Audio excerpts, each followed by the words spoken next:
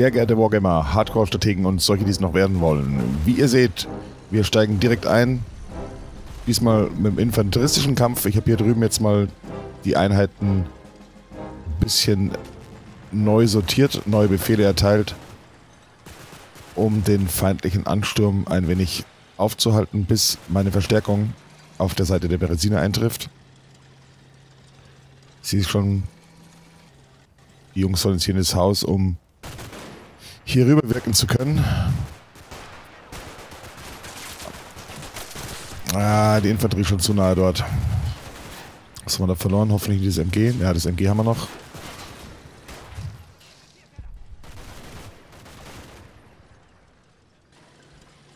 Die SDF-Kfz erleiden leider auch schon Verluste.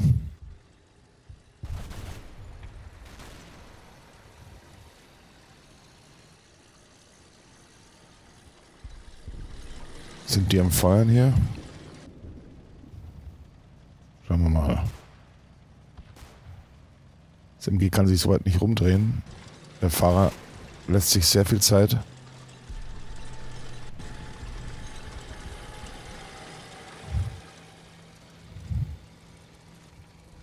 Sieht mal ein bisschen von oben an.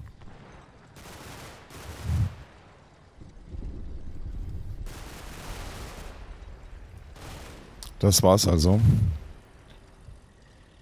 Mit unserem Zugführer vom ersten Zug. War auch in einer sehr exponierten Lage. Ja, die stecken furchtbar ein hier. Diese russischen Tankodeski, glaube ich, heißen die. Also diese Tank Rider, die auf den Panzern aufgesessen direkt nach vorne fahren, sind alle ausgerüstet mit Maschinenpistolen. Also ein extrem gefährlicher Gegner im Orts- und Häuserkampf.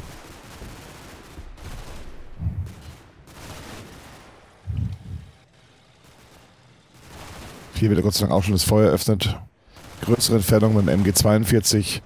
Das ist eine Entfernung, wo die MPs, die PPSHs der Russen nicht mehr so wirken können. Also der ist jetzt hier auf alle Fälle schon mal in einer sehr guten Stellung. Ja. Schauen wir mal, ob sich die Schlinge da oben auch ein bisschen weiter zuzieht. Man sieht hier schon, der Trupp bewegt sich auch darunter. Gut. Was tut sich hier drüben? Da bin ich jetzt doch dabei. Auch gleichzeitig mit der rechten Flanke weiter vorzustoßen. Fahren wir noch da mal mit.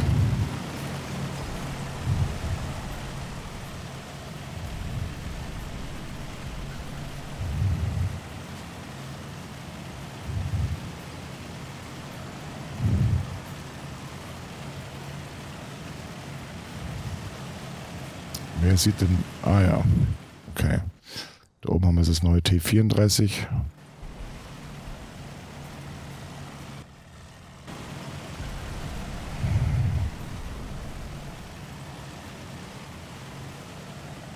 Es dürfte alles in allem sehr kritisch werden. Aber wie gesagt, ich möchte die Initiative erhalten und dem Gegner mein Tempo aufdrücken. Er soll auf meine Aktion reagieren, ich weniger auf seine. Die beiden Panther rücken auch gut vor, werden nicht unter Feuer genommen.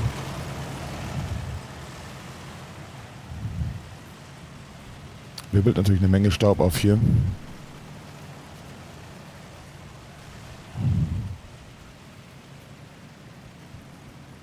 Das läuft aber auch schon sehr gut.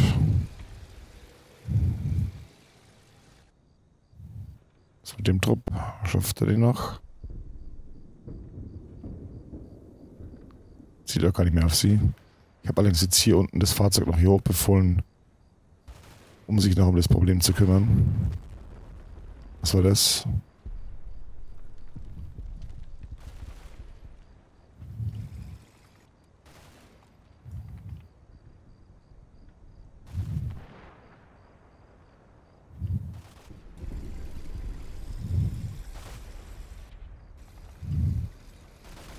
Ah ja. Ich habe vergessen, Schussel zu sagen, dass er aufhören soll zu schießen. Das werde ich nachholen. Es macht mir jetzt keine Anschein mehr, als wenn hier noch viel Infanterie wäre. Im Übrigen hat sich hier ein Panzer zumindest festgefahren. Was war das?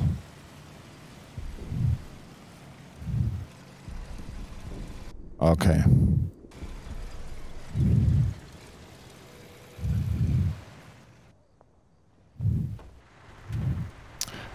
Ach du Scheiße.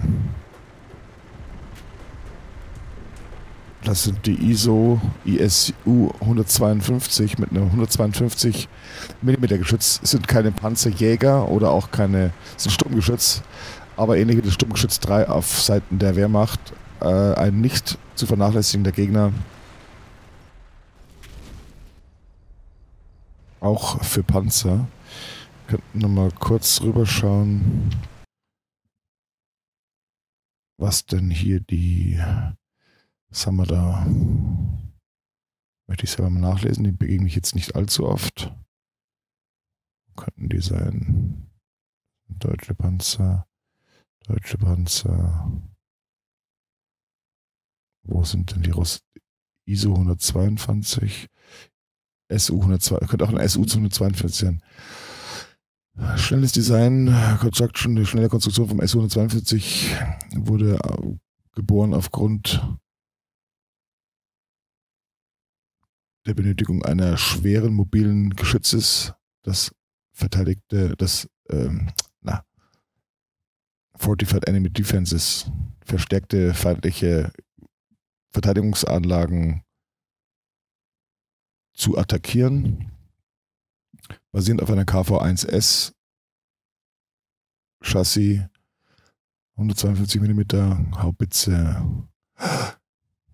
Its massive shells die, die, die Geschosse können bis zu 48 Kilo wiegen. Also man kann sich vorstellen, dass das nicht nur Infanterie schadet, ein 48 Kilo schweres Geschoss. Equally effective at pulverizing enemy strongpoints and smashing apart German tanks. Mm, slow reload rate, limited ammunition supply, 20, 20 Munition bloß dabei. Trotzdem, ich habe hier auch eine ganz hilfreiche Mod installiert, wenn ich jetzt mal diesen Panzer anklicke. Äh, seht ihr jetzt unten hier in dem Fenster so Zahlen auftauchen. Die sind in der Originalversion vom Spiel nicht dabei. Und zwar handelt es sich dabei um eine Mod, die mir im Prinzip auf bestimmte Entfernungen die Durchschlagskraft anzeigt. Also die erste Zahl hier vorne, quasi im Nahbereich, 0 bis 100 Meter, durchschlägt 192 mm Panzerung. Auf 500 Meter 160 mm Panzerung, auf äh, 1000 Meter 136 mm Panzerung und so weiter. Und es wird mir auch angezeigt, wie stark die Panzerung selber ist. Also äh, im vorderen Bereich der Wanne 123 mm Stahl, im mittleren Bereich 115 mm äh, und unten 96 mm. Das sind sehr, sehr hilfreiche, hilfreiche Informationen, denn ehrlich gesagt kann und will ich mir auch nicht äh, alle Daten da so merken. Ich kann gerne mal nächste Folge nochmal die Pantherfibel aufschlagen und euch da mal zeigen, ja, dass natürlich Panzerbesatzungen solche Werte auswendig lernen mussten, auswendig lernen sollten. Das finde ich, kann man jetzt einem einzelnen Wargamer nicht zumuten. Von daher finde ich es ganz probat, auch solche Mods zu installieren. Hier übrigens, wenn ich einen Panther mal anklicke, sieht man auch, dass er auf dem Bereich 500 Meter 160 mm Panzerplatten durchschlägt. Jetzt schauen wir uns doch mal an, was das für eine Entfernung ist. Was haben wir denn da? Wir haben eine Entfernung von, das kann ich jetzt nicht sehen, muss ich mir nachher angucken. Jetzt mal knappe 1000 Meter. Meine Kanone, die KWK 7570, durchschlägt auf knappe 1000 Meter 149 Millimeter Stahl. Der, der Sturmgeschütz hat 123 Millimeter Stahl an der stärksten Stelle. Das heißt, meine Panzergeschosse sollten genügend Wirkung erzielen. Wo ging der Schuss hin? Ah, das bleibt spannend. Sehen wir es überhaupt, wo das einschlägt? Daneben geschossen. Meine Panzerung beim Panther vorne beträgt an der mittleren Wanne 206 mm. Also da kann das andere Geschütz auch nichts ausrichten. Allerdings, der Turm. Der Turm hält 97 mm Panzerung. Also effektiv, es wird im Übrigen, es ist also nicht die echte Panzerungsstärke, sondern auch, da wird in äh, mehr oder weniger ein Durchschnittswert, der auch davon abhängt, wie geneigt die Panzerplatten sind. Das war eine Sache, die wurde ja vom T34 übernommen und im Panther-Design angewendet. Dieses äh, ja, revolutionäre Design der abgeschreckten Panzerplatten, die effektiv die Panzerung natürlich noch dicker machen. Das ist auf alle Fälle momentan auf die Entfernung ein ernstzunehmender Gegner und bereitet mir schon ein wenig Sorgen. Ein wenig ist gut, denn ich bin hier drüben ja eigentlich jetzt schon effektiv dabei, bald übersetzen zu wollen. Ach, hat sich jetzt der eine Panzer hier freigefahren? Der steckte fest. Jawohl, Gott sei Dank. Nicht das gleiche Schicksal wie der Panzer hier drüben, der jetzt tatsächlich sich nicht mehr fortbewegen kann. Das bedeutet aber auch, dass ich jetzt doch eher auf meine Mörsermission, die den Rauch legt, angewiesen bin.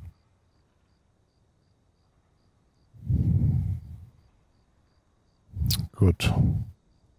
Die müssten jetzt eigentlich auch recht bald kommen. Schauen wir doch mal nach. Spotting, das heißt, die ersten Spotting Rounds sind raus. Hier bewegt sich jetzt auch schon einiges den Fluss runter. Diesen kleinen Bach. Bleibt spannend. Das hier gefällt mir natürlich nicht. Wir werden sehen.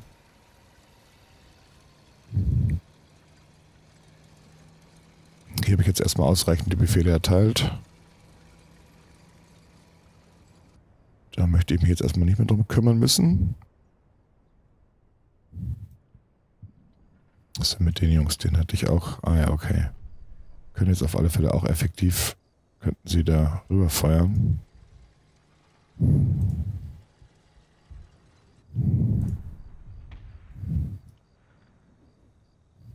Hier verlege ich auch schon Einheiten jetzt rüber zur Brücke.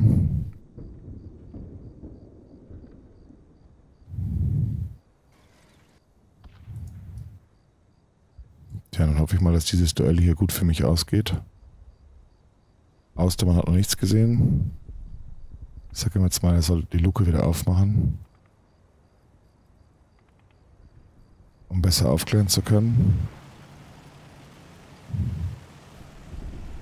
Die Panzer 4 sind auch schon fast in Position. Und ich glaube, es wird auch Zeit, dass ich hier die Infanterie wieder auflade. Aufsitzen das meine ich natürlich.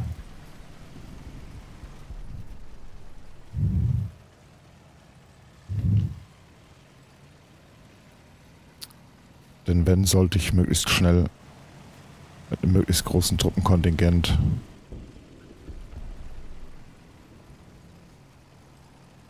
übersetzen. Wir könnten dann noch dazu hier drüben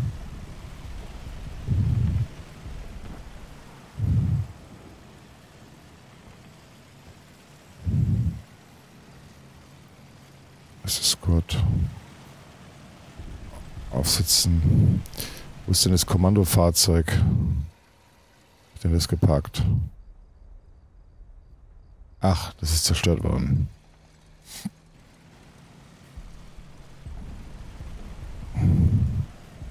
Dann sind wir zu Fuß darüber.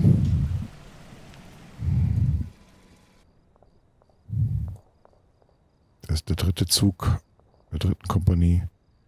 Die sind immer noch hier ein bisschen am Nachzügeln. Am Nachzügeln. Eine gute Wort. Neuschöpfung. Haben wir dann hier Kompaniehauptquartier. Ja, die lassen wir jetzt hier mal aufklären.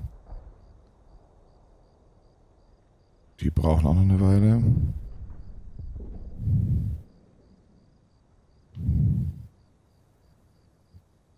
Die sind im Marsch gesetzt. Gut. Schauen wir uns hier das Duell da drüben an.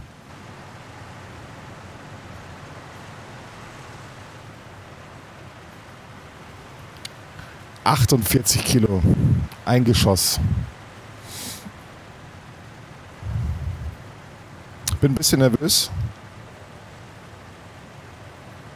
Wie das Gefecht ausgeht.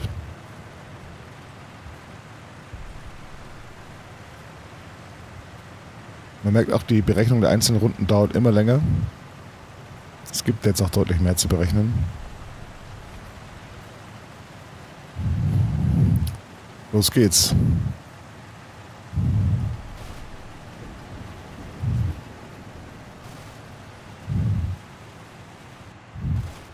Erzielt. Jawohl.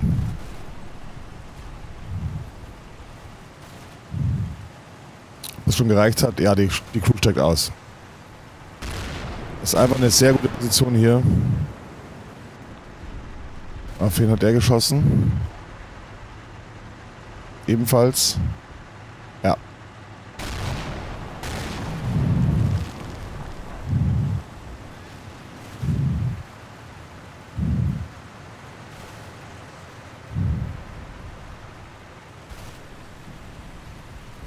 Ist eigentlich Austermann? Hier.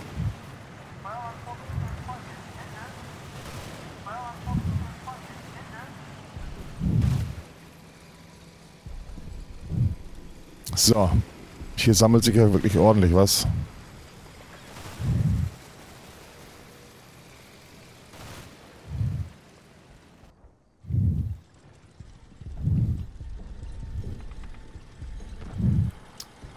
Das war jetzt nicht so glorreich. Ah, weil ich die Züge auch immer viel zu schnell mache. Ich muss mal irgendwie einen Weg finden, wie ich das besser machen kann, dass ich mehr Zeit habe, meine Züge zu planen. Euch da mal irgendwie ein bisschen mit rauslasse, weil sonst langweilt ihr euch zu Tode. Auf der anderen Seite sterben mir sonst meine Leute hier zu Tode.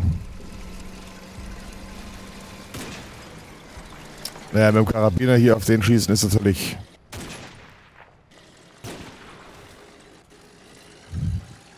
Ein einzelner Mann.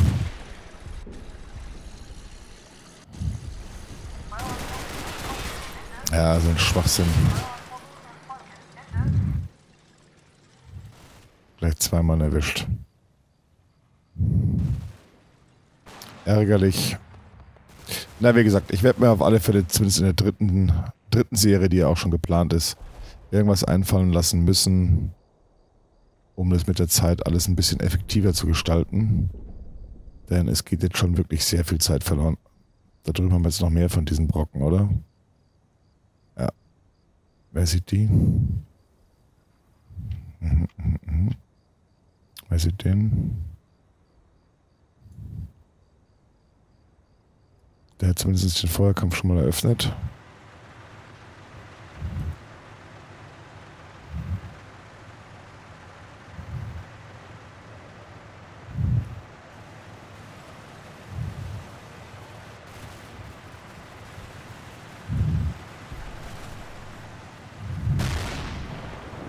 So.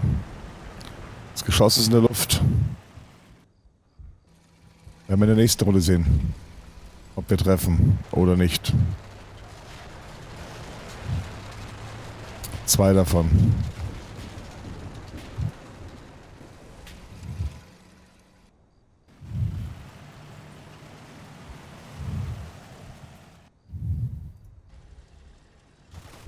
Falls ihr Ideen habt, wie man das auflösen könnte, dass wir nicht äh, so viel Zeit verlieren in den einzelnen Runden, bin ich für Vorschläge durchaus offen. Was heißt durchaus? Auf alle Fälle offen.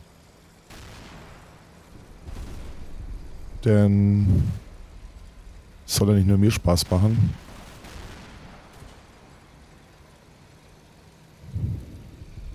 Okay. Meine Smoke-Missionen gehen auch los.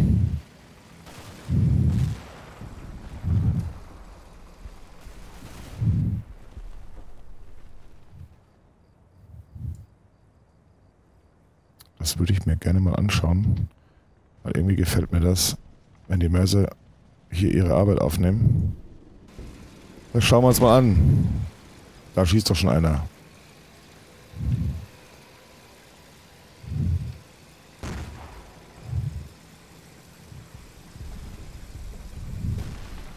Das sind, glaube ich, immer noch Spotting, äh, Spotting Rounds, sonst würden sie ein bisschen schneller raushauen. Die bekommen jetzt im Prinzip von dem Auftraggeber eine Rückmeldung, wo die Geschosse landen und justieren dann dementsprechend nach. Das sieht man dann auch wirklich, wie sie da rumschrauben an den Geräten, Neigungswickel neu einstellen, neu ausrichten. Jetzt wird neu ausgerichtet und komm, hau noch einen raus.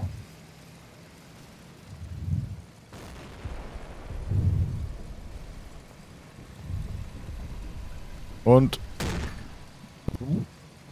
der nächste kommt auch schon. Naja, war jetzt nicht so spektakulär, aber man, es dauert eine Ewigkeit, bis diese Mörsergeschosse irgendwo mal landen. Also auf diese Entfernung. Finde ich immer wieder interessant. So, das da oben wird natürlich jetzt heikel für die Einheiten, die hier unten nachrücken. Wer kann denn die sehen hier? Mhm. Da werde ich sicherlich ein bisschen aufpassen müssen. So, definitiv sogar. Ja.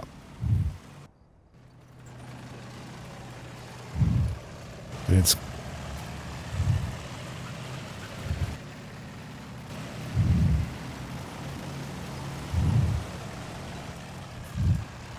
Der hat ihn sogar schon gesehen.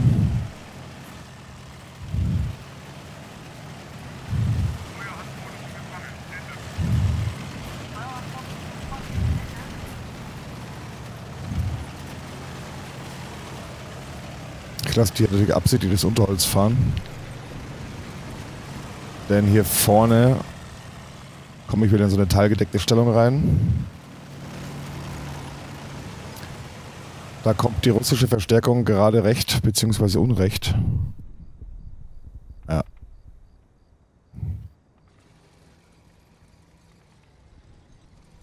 Zum ungünstigsten Zeitpunkt. So, Jungs.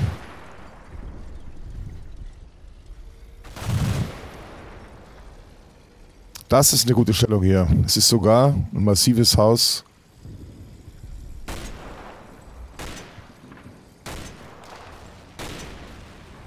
Nicht nur irgendwelche Holzhütten.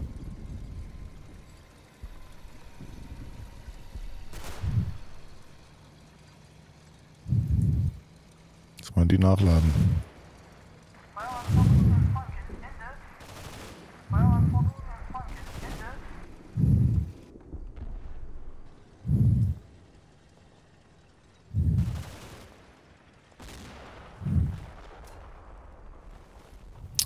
Denn die hier sehen?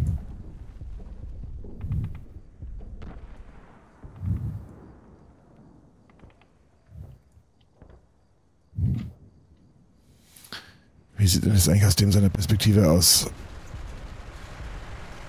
Der hat mir den Rücken zugedreht.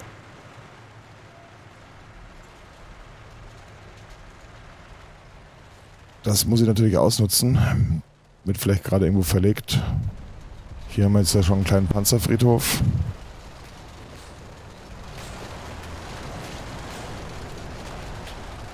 Was sind das? Der ist zerstört.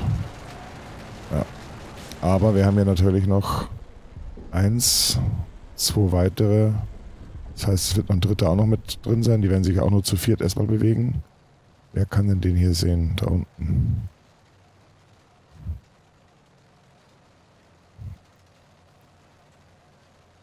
Und der Unteroffizier Detmers. Ah ja, das ist Geschoss in der Luft. Mal schauen, ob ich es sehen kann. Nee. Ich würde es aber gerne sehen.